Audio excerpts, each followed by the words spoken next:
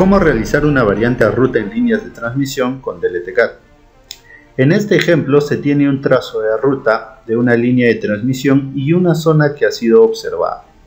¿Por qué muchas veces se tienen zonas observadas? Esto se debe a que en un diseño inicial, en una etapa de preingeniería, para una línea muchas veces no se toma en consideración zonas donde no puede ubicarse una torre o una línea que pueden ser básicamente zonas arqueológicas, zonas privadas que no se llegue a un acuerdo común con el propietario, o zonas urbanas, ¿no? donde no puede ubicarse una línea de transmisión. Entonces, en muchos casos, lo que se hace cuando ya va avanzando la ingeniería es que se realizan variantes de ruta o variantes del trazo de ruta original con la finalidad de evitar esas zonas prohibidas para la ubicación de la línea. Como se puede observar aquí en el vértice, este vértice está cayendo en una zona donde claramente, según la figura, se observan que hay casas o viviendas en esta zona. Por lo tanto, esta zona no sería óptima para ubicar una torre de una línea de transmisión. Entonces, ¿qué es lo que se opta usualmente? Lo que se opta es salirnos de esa zona prohibida y realizar una variante. Como por ejemplo este trazo de aquí de color cian, donde se ha realizado una variante de ruta ubicando nuevos vértices es obvio que eh, en esta variante se tiene que tomar la información de topografía de esta zona para poder realizar la variante de ruta y utilizarlo dentro del programa de LTCAD. Aquí tenemos por ejemplo un trazo de ruta de una línea de transmisión, la vista en planta y su vista en perfil, donde ya se tiene distribuido las estructuras, ya se tiene realizado todo el diseño electromecánico.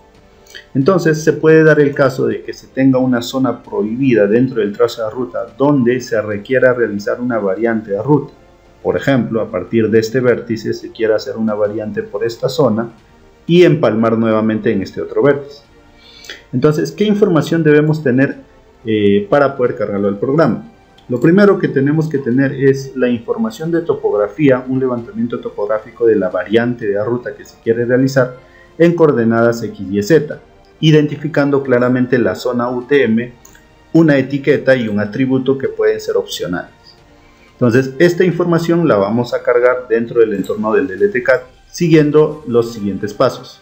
Nos ubicamos en diseño vista en planta y le vamos a indicar al programa aquí que yo quiero adicionar puntos en coordenadas X y Z. Vamos a buscar el archivo, aquí buscamos puntos topográficos en X y Z, buscamos el archivo que vamos a utilizar y lo cargamos. El programa lo que va a hacer es leer nuevamente esos eh, levantamientos topográficos o esos puntos X y Z que se están cargando. Ahí está. Hacemos correlacionar el norte, el este y la altitud, la zona, la etiqueta y el atributo. Una vez que hacemos correlacionar el encabezado, le decimos el sistema en el cual se ha tomado la información de topografía, siguiente y aplicar. Entonces claramente podemos observar aquí que de la línea original, el trazo de ruta original, ahora tenemos una variante, unos puntos adicionales donde se va a realizar pues justamente la variante de ruta.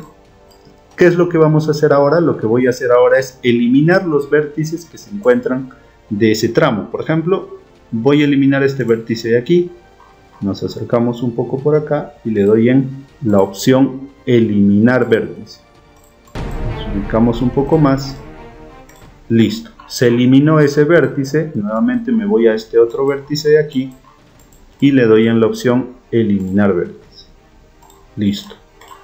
El siguiente paso ahora para trasladar todo este tramo donde se está haciendo la variación va a ser ahora la opción de insertar vértice. Me pide que yo seleccione el segmento o el trazo de ruta.